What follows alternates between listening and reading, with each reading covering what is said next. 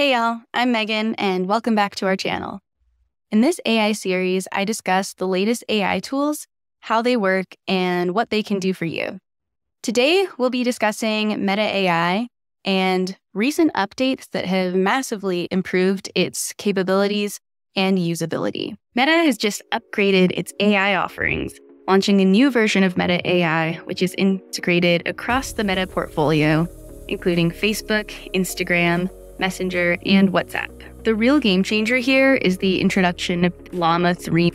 These models are not only improving Meta AI's response times, but also its ability to understand and generate human like text. This is crucial because in the past, Meta AI sometimes felt sluggish and was less accurate compared to competitors like ChatGPT or Perplexity. After spending some time in the platform and testing out different use cases, I would say that while not perfect, the ease of access is really unmatched.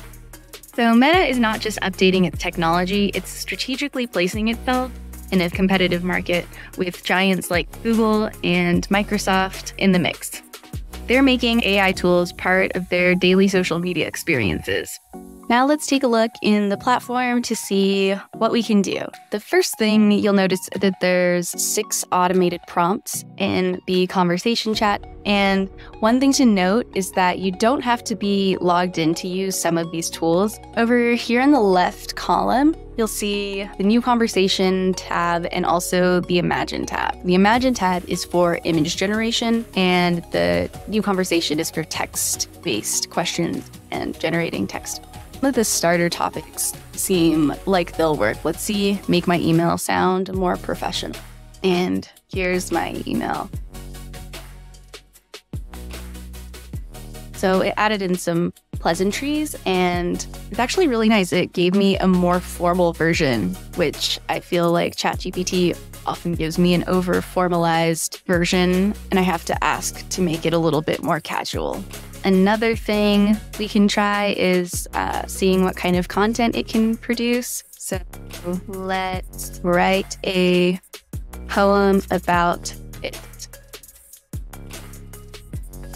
That's pretty good. I haven't written poems in a whole lot of other platforms. Yeah, this has a decent length. Another feature that Meta AI can do is access real time information including news and just recently posted stuff.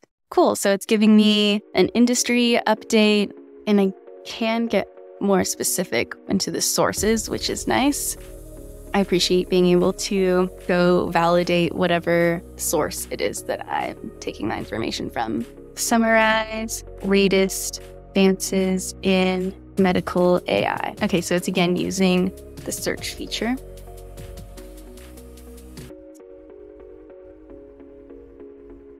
This was really good. It just gave me all of these different areas and a little blurb about each of them. So that was a cool result.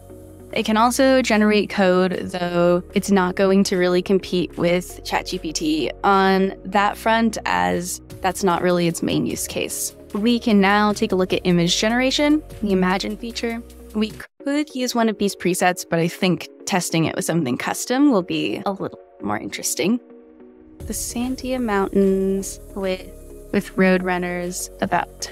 Wow, that was really cool. It was dynamically updating it as I was typing and this also looks very accurate. Design a logo for my profit. These are not bad. I would say they're possibly a little bit better than um, logo designs that I've gotten from ChatGPT. I want to try one more thing in my conversation.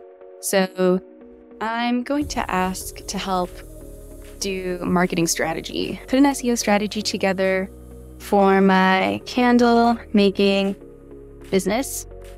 Also, create a 30 day marketing plan.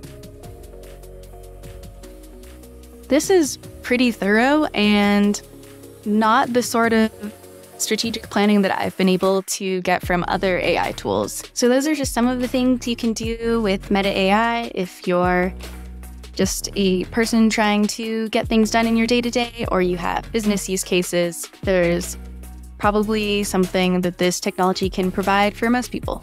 Thanks for watching. I hope you found this useful or you learned something new. If you liked this content, please like and subscribe to our channel for more of it. Thanks.